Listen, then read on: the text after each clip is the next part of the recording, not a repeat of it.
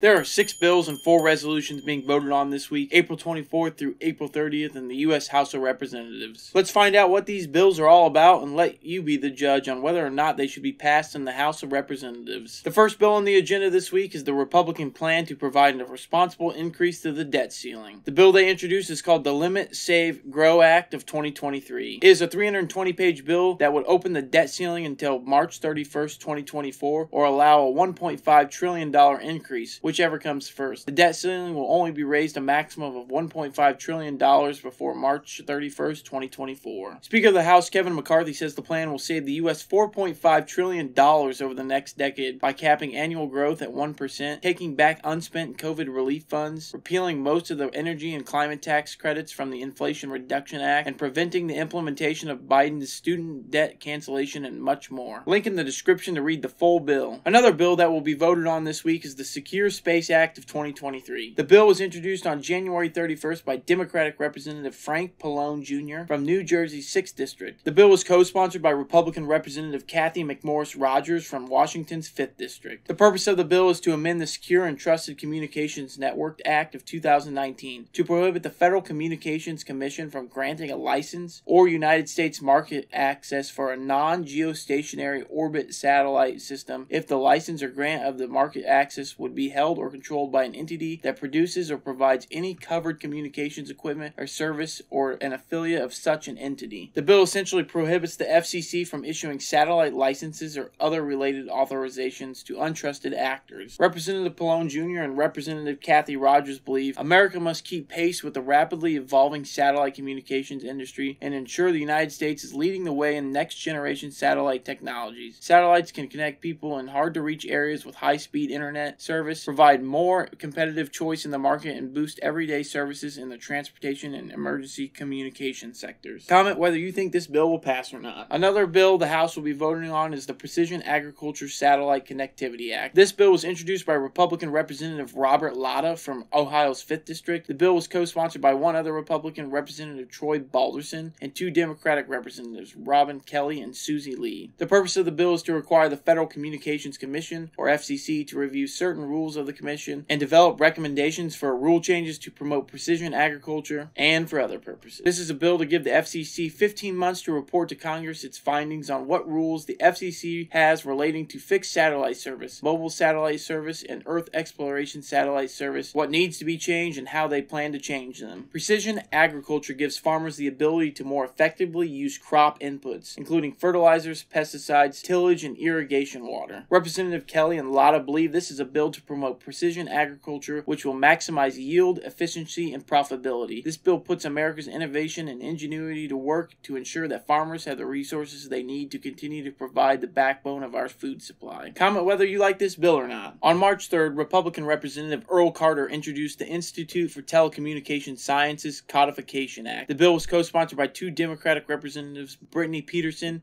and Susie Lee. The purpose of the bill is to codify the Institute for Telecommunication Sciences and to direct the Assistant Secretary of Commerce for Communications and Information to establish an initiative to support the development of emergency communication and tracking technologies and for other purposes. The bill would require the ITS to develop emergency communication and tracking technologies to locate trapped individuals in confined spaces such as underground mines. The bill also would require the ITS to study radio frequency emissions, determine spectrum propagation characteristics, and test technologies that enhance spectrum sharing between federal and non federal entities, among other activities. Because the ITS works on those activities under such law, the Congressional Budget Office estimates that implementing those requirements would have no additional costs. Comment if you think this technology is a good idea. Another bill introduced on March 3rd by Republican Representative Bill Johnson from Ohio's 6th District was the Advanced Local Emergency Response Telecommunications Parity Act, or the Alert Parity Act. It was co sponsored by Democratic Representative Kim Schreier. The purpose of the bill is to direct the Federal Communications Commission to issue rules for the provision of emergency connectivity service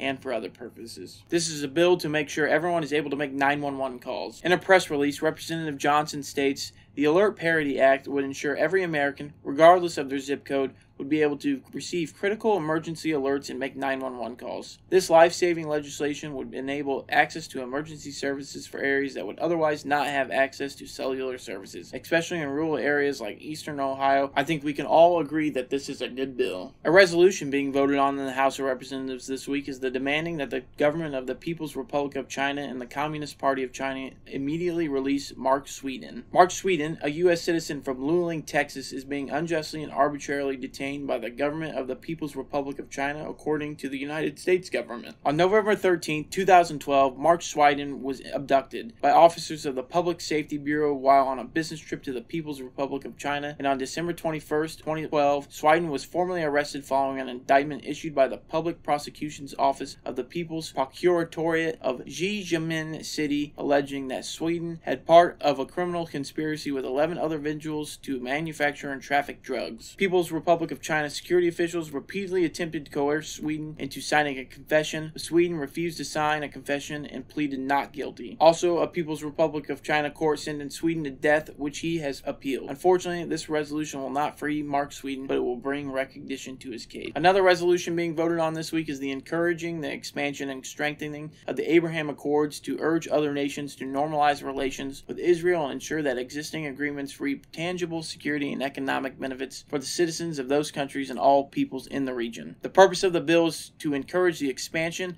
and strengthen the Abraham Accords to urge other nations to normalize relations with Israel to ensure that existing agreements reap tangible security and economic benefits for the citizens of those countries and all peoples in the region. Do you think this resolution will be passed? Comment below. A concurrent resolution introduced by Matt Gaetz from Florida's 1st District being voted on reads as follows Directing the President pursuant to Section 5C of the War Powers Resolution to remove all United States armed armed forces other than United States armed forces assigned to protect the United States Embassy from Somalia. The president would have to remove all troops from Somalia not later than the date that is 365 days after the date of the adoption of this resolution. There is also a joint resolution disapproving the rule submitted by the Department of Commerce relating to procedures covering suspension of liquidation duties and estimated duties in accord with Presidential Proclamation 10414. Make sure you share this video with two friends to help inform them on the bills being voted on this week. And Thanks for watching as always.